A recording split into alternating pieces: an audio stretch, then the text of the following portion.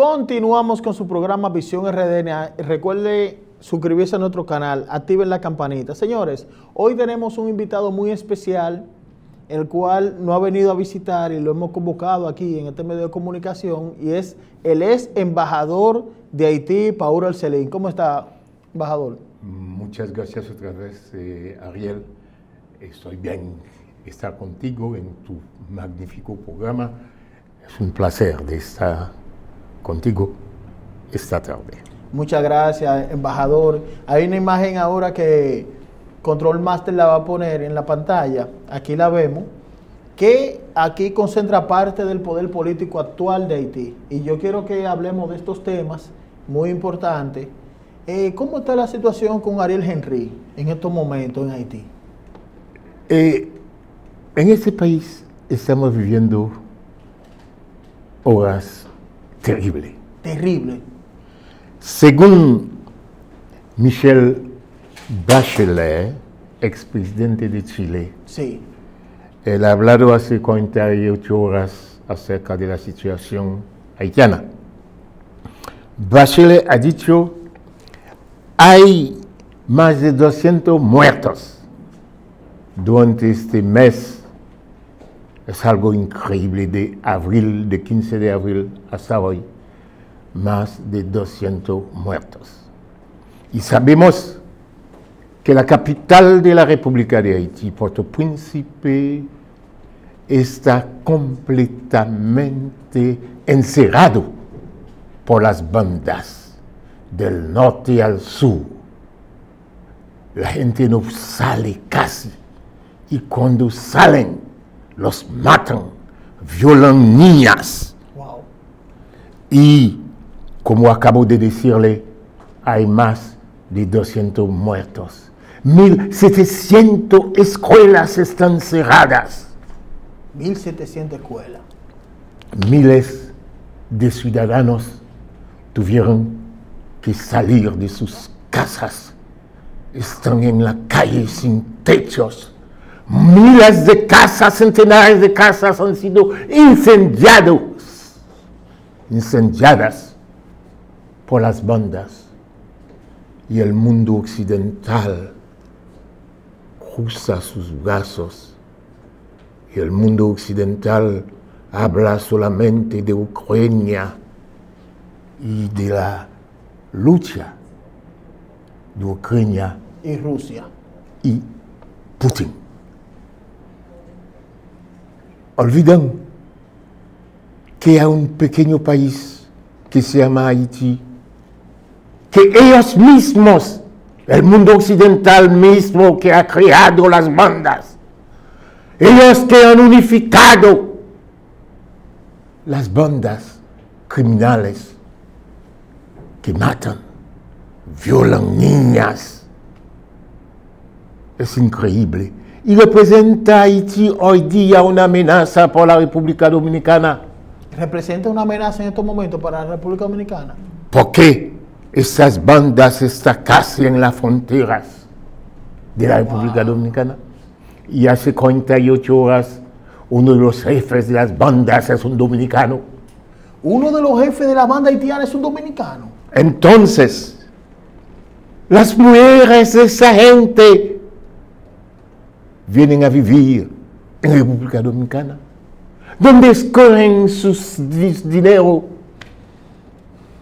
una parte en los Estados Unidos, en la República Dominicana.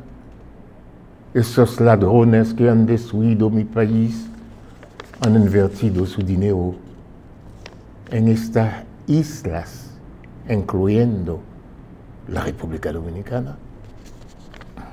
Y por eso yo creo después de la caída de este gobierno, que es un representante de Martelly, ha sido nombrado primer ministro, es amigo mío, hemos trabajado juntos en un gobierno, nos conocemos bastante bien, me ha sorprendido de ver el trabajo que está haciendo, se cruza los brazos, no habla sobre los muertos, los asesinos que están haciendo en Haití.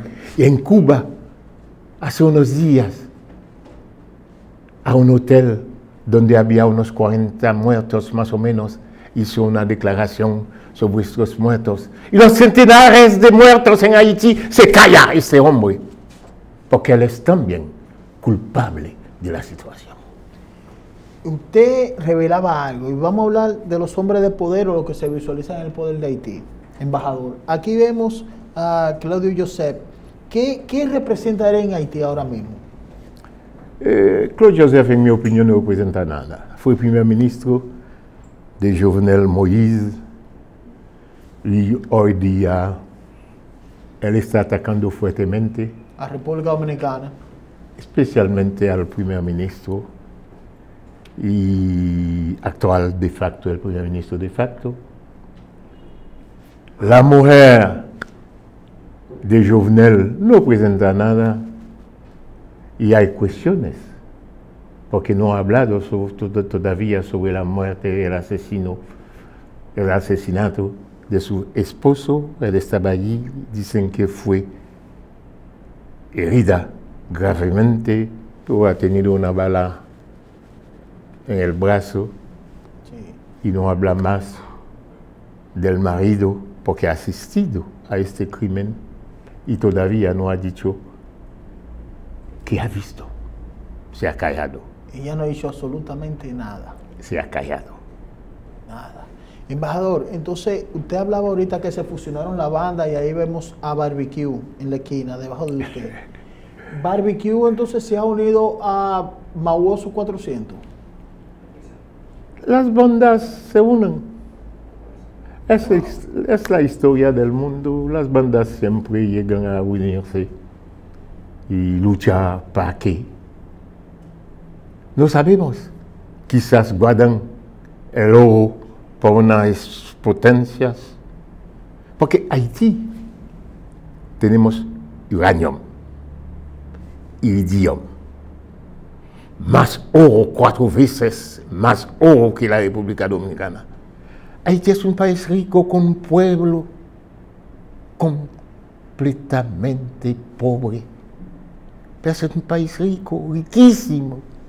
Rico pero mal Y administrado. yo creo que en una de nuestras entrevistas, yo lo he dicho que el presidente Balaguer me había dicho que Haití es más rico que África del Sur. Usted sabe que África del Sur es nos- uno de los países en África realmente Sí, rico. muy rico. Y Balaguer me dice que Haití es más rico que África del Sur. Entonces, quizás es por eso que tenemos esta guerra en mi país y lo hemos visto en Sierra Leone, donde cortaban brazos, piernas por diamantes. Lo hemos visto en el Congo, donde arman Sí. a muchos grupos para que las potencias occidentales cogen las minas. Quizás es lo que está pasando en Haití. Que potencias extranjeras implementan el caos para que ese país sea un caos y ellos tienen ganancia de caos cogiendo el oro. Es lo que uno se pregunta. ¿Por qué? ¿Y cómo? Pero yo creo que usted me diga algo, embajador, a ver si usted sabe esa información. Y aquí vemos a- al presidente ruso Vladimir Putin, que ahora tiene un conflicto con, con Ucrania y, y ha amenazado a Finlandia y a Suecia si se unen a la OTAN. Pero, ¿qué tiene que ver Vladimir Putin con Haití? ¿Es por el, es por el tema del oro? Usted acaba de decirme, ha leído un artículo del BBC hablando de Putin que quiere el oro haitiano. Eh, por lo que puedo decirle que Jovenel Moïse ha cometido el error de aceptar, de reconocer Rusia antes de morir, de ser asesinado. Entonces, Jovenel Moïse fue en Turquía Sí. a ver a Erdogan. Usted sabe la alianza que existe entre Putin y Erdogan. Y Y Erdogan. hay rumores que Jovenel Moïse se ha sentado también con el, con el vicepresidente de Rusia, Con el vicepresidente ruso. secretamente, secretamente en Turquía. Y Turquía debía mandar armas en Haití. Y Turquía había prometido a Haití de darnos electricidad, porque tenemos un problema grave de electricidad en Haití.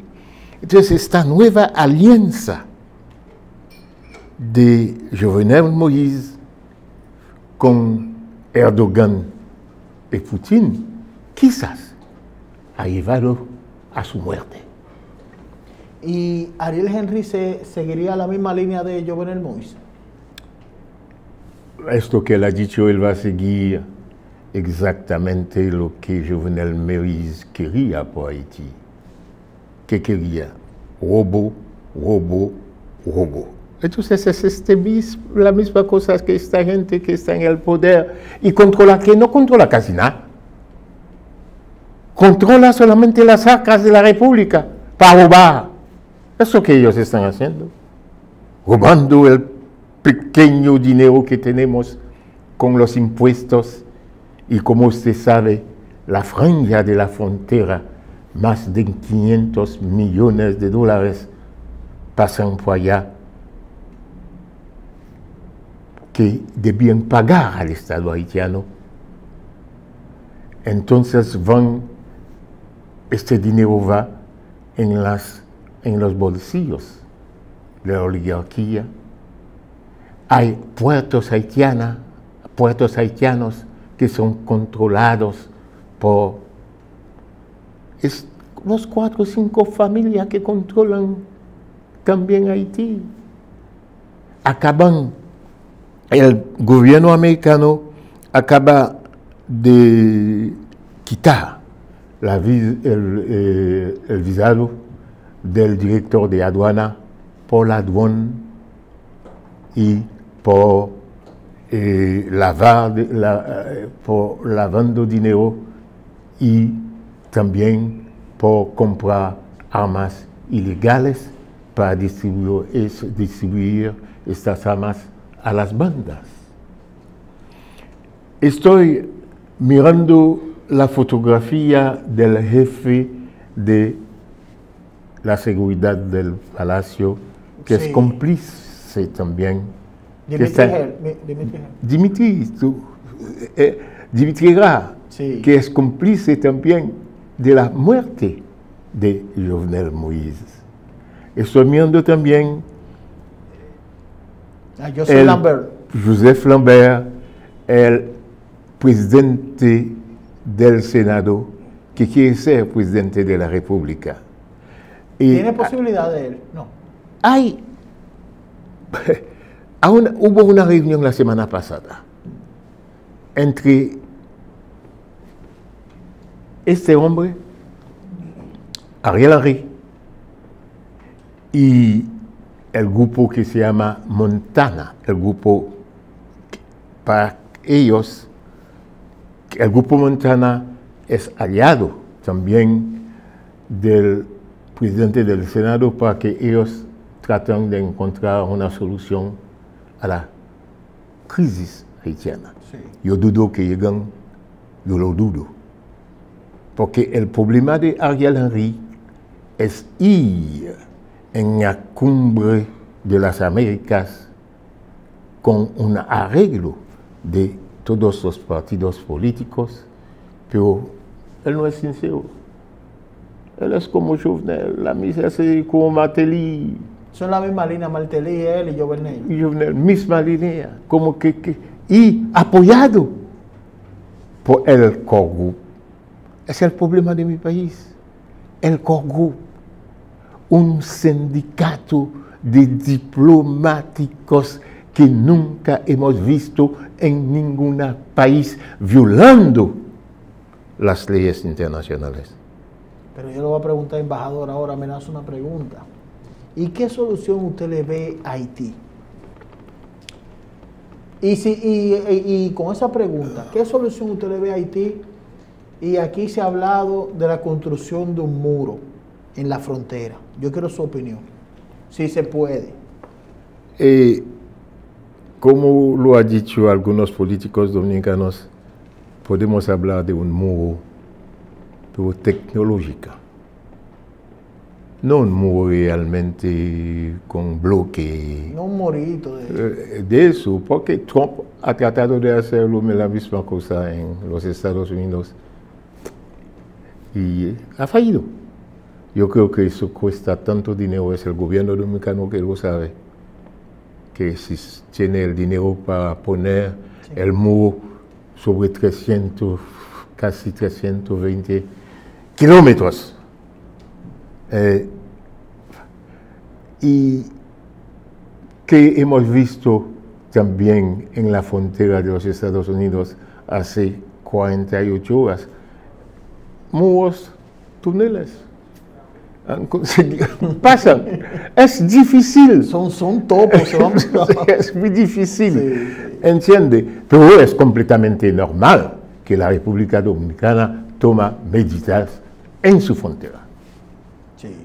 Eh, embajador, en esta parte final, usted sabe que siempre el tiempo llega, pero usted- ese sillón de usted, usted siempre va a estar viniendo aquí, siempre. Eh, yo quiero que usted entonces me diga, ¿hace falta un ejército en Haití realmente con estas bandas? Porque no se ha visto un ejército, no se ha visto una marina, no se ha visto una fuerza aérea, no se ha visto una policía activa, no se ha visto nada. O sea, eso, eso- ese país hay que resetearlo entero. Entonces, yo me recuerdo, yo fui invitado por Inter-American Defense Board. Hace unos años, el presidente de Inter-American Defense Board era el general Harding. Él me ha dicho, señor embajador, yo sé que Aristide es su amigo, me gustaría que usted regrese en Haití y pide a Jean-Bertrand Aristide de no destruir el ejército haitiano. Efectivamente, él me ha dicho que él me da hasta guardaespaldas para que camino en las calles de Puerto Príncipe. Yo que no puedo aceptar guardaespaldas americano, pero estoy dispuesto a hablar con Aristide. No lo he hablado directamente, a pesar que era amigo mío en Canadá.